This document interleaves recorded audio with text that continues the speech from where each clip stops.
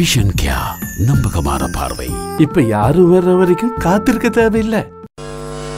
ஜனாதிபதி ரணில் விக்ரமசிங்க அவருடைய பாணியிலேயே தமிழ் தேசிய கூட்டமைப்புக்குள் பிளவை ஏற்படுத்தியுள்ளதாக வடமாகாண சபையின் அவைத் தலைவர் சி வி கே சிவஞானம் தெரிவித்துள்ளார். புளோட் எனப்படும் ஜனநாயக மக்கள் விடுதலை முன்னணியின் பத்தாவது தேசிய மாநாட்டில் கலந்து கொண்டு அவர் இந்த விடயத்தை குறிப்பிட்டுள்ளார். ஜனாதிபதி தெரிவின் போது தமிழ் தேசிய கூட்டமைப்பின் சில நாடாளுமன்ற உறுப்பினர்கள் தமக்கு வாக்களித்திருந்ததாக ஜனாதிபதி ரணில் விக்ரமசிங்க தெரிவித்திருந்தார். இதனால் கூட்டமைப்பின் உறுப்பினர்களுக்கிடையில் ஒருவருக்கொருவர் சந்தேக பார்வையுடன் பயணிக்கும் நிலை ஏற்பட்டுள்ளதாக வடமாகாண சபையின் அவைத் தலைவர் சி வி கே சிவஞானம் குறிப்பிட்டுள்ளார். இந்த ஜனாதிபதி அவர்களுடைய பாணியிலே அவர்களுடைய வழியிலே அவர்கள முறையிலே தமிழ் தேசிய கூட்டமைப்பை உடைக்கின்ற முதல் தேங்காயை உடைத்திருக்கின்றார். எல்லாரும் அஞ்சு பேர் எனக்கு வாக்களிச்சு பார்த்தவர்.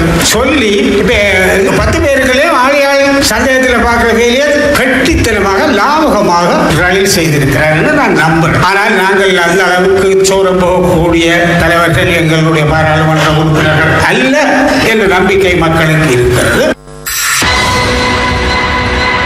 தொடரும் சீரற்ற வானிலை காரணமாக மஸ்கெலிய பிரதேச சபைக்குட்பட்ட மௌசகலை தோட்டத்தின் தொடர் குடியிருப்பு ஒன்றில் வெடிப்பு ஏற்பட்டுள்ளதாக எமது செய்தியாளர் தெரிவித்தார். குறித்த தொடர் குடியிருப்பில் உள்ள வீடுகளின் அறைகளில் வெடிப்பு ஏற்பட்டு நிலம் தாழிறங்கியுள்ளதாக தெரிவிக்கப்படுகின்றது. இதனால் நிலம் தாழிறங்கியுள்ள பகுதிக்கு கீழ் உள்ள தொடர் குடியிருப்புக்கும் பாதிப்பு ஏற்படும் அபாயம் உள்ளதாக பிரதேச மக்கள் தெரிவிக்கின்றனர். எனவே இந்த விடயம் தொடர்பில் உரிய அதிகாரிகள் உடன் தீர்வொன்றை பெற்றுத்தருமாறும் அவர்கள் கோரிக்கை விடுத்துள்ளனர். நாங்க இருந்து பேசுறோம். எங்களோட லயன் வந்து இப்ப இந்த மலைக்கு வெடிச்சு தான் இருக்குது. இதை வந்து நாங்க கிராம சபத்தையும் சொல்லியிருக்கோம். மஸ்கேலியா பிரதேச சபையிலையும் சொல்லியிருக்கோம். எஸ்டேட்லயும் சொல்லியிருக்கோம். ஒருத்தரும் நடவடிக்கை எடுத்த மாதிரி இல்ல. ஆனா எங்களுக்கு ஒவ்வொரு மலைக்கும் இப்படிதான் இருக்கு. மேல உள்ள லயனும் இப்ப கீழே வர்ற நிலைமையில தான் எங்களோட லயனுக்கு வர்ற நிலைமையில தான் இருக்கு. ஆனா யாரும் வந்து எதுவும் ஒரு நாள் பார்த்ததுல எதுவும் செய்யவும் இல்லை. கடந்த வருட காலங்களாகவும் இந்த லைட்ல வந்து மண் சரிவு ஏற்பட்டிருந்துச்சு வீடுகளுக்குள்ள வெடிப்பு ஏற்பட்டிருந்துச்சு.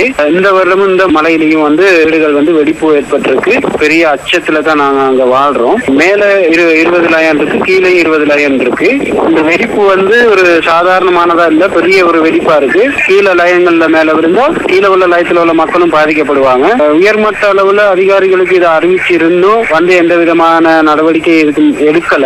இப்பயும் வந்து ஸ்டேட் வெல்ஃபேர் அவங்க மட்டும்தான் வந்து பார்த்துட்டு போயிருக்காங்களே தவிர வே- ஏனைய அரசாங்க உத்தியோகத்தர் யாரும் வந்து பார்க்கல இதை. இதுக்கு ஒரு நல்ல தீர்வை பெற்று தருமாறு நான் கேட்டுக்கொள்றேன். இதேவேளை மஸ்கலியா நல்ல தண்ணி பகுதிக்கு செல்லும் பிரதான வீதி தாழிறங்கியுள்ளது இதனால் அந்த வீதியூடான போக்குவரத்து முற்றாக பாதிக்கப்பட்டுள்ளதாக எமது செய்தியாளர் தெரிவித்தார். இதேவேளை நாட்டின் சில பகுதிகளில் இன்றும் மழையுடனான வானிலை நிலவக்கூடும் என வளிமண்டலவியல் திணைக்களம் எதிர்வு கூறியுள்ளது. சபரகுமோ மாகாணத்திலும் டுவரலியா மற்றும் கண்டி மாவட்டங்களிலும் இடைக்கிடையே மழை பெய்யக்கூடிய சாத்தியம் நிலவுகிறது. மேல் மற்றும் வடமேல் மாகாணங்களிலும் காலி மாத்தறை மாவட்டங்களிலும் பலத்த மழை வீழ்ச்சி பதிவாகக்கூடும் மத்திய மலைநாட்டின் மேற்கு சரிவு பகுதிகளிலும் வடக்கு மற்றும் வடமத்திய மாகாணங்களிலும் ஹம்மாந்தோட்டை மாவட்டத்திலும் ஐம்பது கிலோமீட்டர் வேகத்தில் கடும் காற்று வீசக்கூடும் என வளிமண்டலவியல் திணைக்களம் தெரிவித்துள்ளது. இதேவேளை நாட்டின் ஐந்து மாவட்டங்களுக்கு விடுக்கப்பட்டிருந்த மண் சரிவு அபாய முன்னெச்சரிக்கை எதிர்வரும் இருபத்தி நான்கு மணித்தளத்துக்கு நீடிக்கப்பட்டுள்ளது. தேசிய கட்டிட ஆராய்ச்சி நிர்வாகம் விடுத்துள்ள அறிக்கையில் இந்த விடயம் தெரிவிக்கப்பட்டுள்ளது.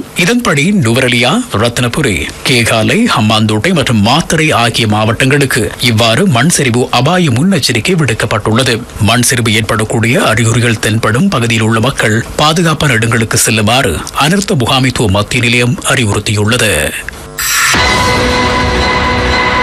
மின் கட்டண திருத்தம் தொடர்பான அறிவிப்பு எதிர்வரும் செவ்வாய்க்கிழமை வெளியிடப்பட உள்ளது. பொது பயன்பாடுகள் ஆணைக்குழுவினால் அன்றைய தினம் மின் கட்டண திருத்தம் தொடர்பான உத்தியோகபூர்வ அறிவிப்பு வெளியிடப்படும் என தெரிவிக்கப்பட்டுள்ளது.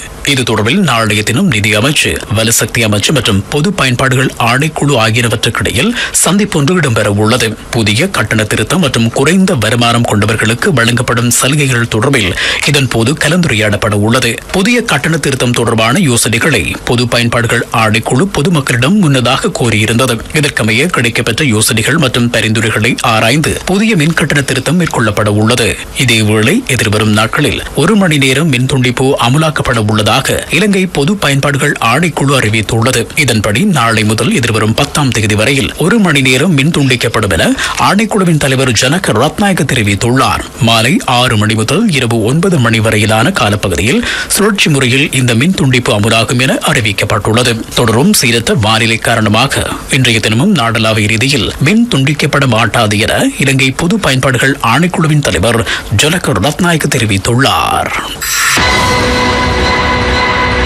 நாட்டில் மீண்டும் கொரோனா வைரஸ் பரவியுள்ளதால் பொதுமக்கள் மிகவும் அவதானத்துடன் இருக்குமாறு பொது சுகாதார சேவைகள் சங்கம் கோரிக்கை விடுத்துள்ளது. கடந்த சில நாட்களில் நூற்றுக்கும் மேற்பட்ட கொரோனா நோயாளர்கள் பதிவாகியுள்ளதுடன் குறித்த நோயால் இறப்பவர்களின் எண்ணிக்கையும் அதிகரித்துள்ளது.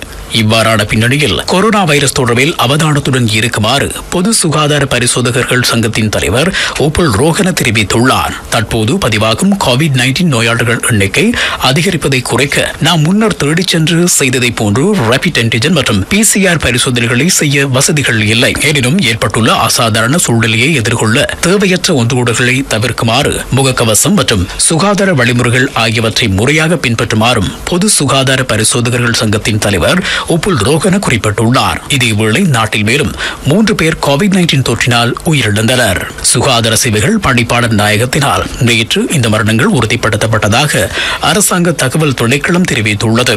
அறுபது வயதுக்கு மேற்பட்ட ஆண்கள் உயிரிழந்ததாக அரசாங்க தகவல் திணைக்களம் தெரிவித்துள்ளது.